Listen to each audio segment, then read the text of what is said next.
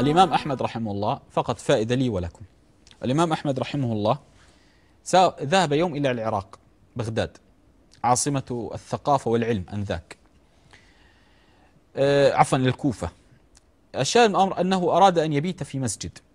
فجاء صاحب المسجد الإمام أحمد لم يكن هناك تلفاز ولا شاشات حتى يعرف الوجه. كان له صيتا لكن لا يعرف كيف وجهه. فقال له إمام المسجد لن تنام هنا. فطرده خارج المسجد وأغلق المسجد. فأراد الإمام أحمد أن يبيت في فناء المسجد. فجاء الإمام نفسه فجره بقدمه إلى خارج الفناء فناء المسجد. فذهب الإمام أحمد عند خباز يعجن. فيقول الإمام أحمد فما رأيته يضع رغيفا ويخرج رغيفا إلا استغفر. أستغفر الله. وإن أخرج أستغفر الله. يعجن أستغفر الله. يضع أستغفر الله. يعني لسانه رطبا بذكر الله. فالإمام أحمد تعجب من حالته.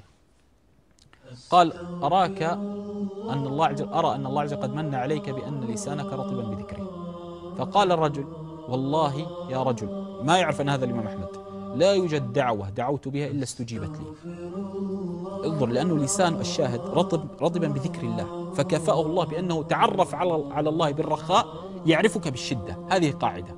هذا الرجل يذكر الله صباحا مساء بالرخاء.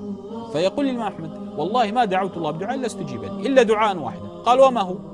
قال دعوت أن أرى الإمام أحمد بن حنبل ولكني إلى الآن لم أره. فقال الإمام أحمد بل جر الإمام أحمد من قدمه إلى هنا لكي تراه أستغفر الله.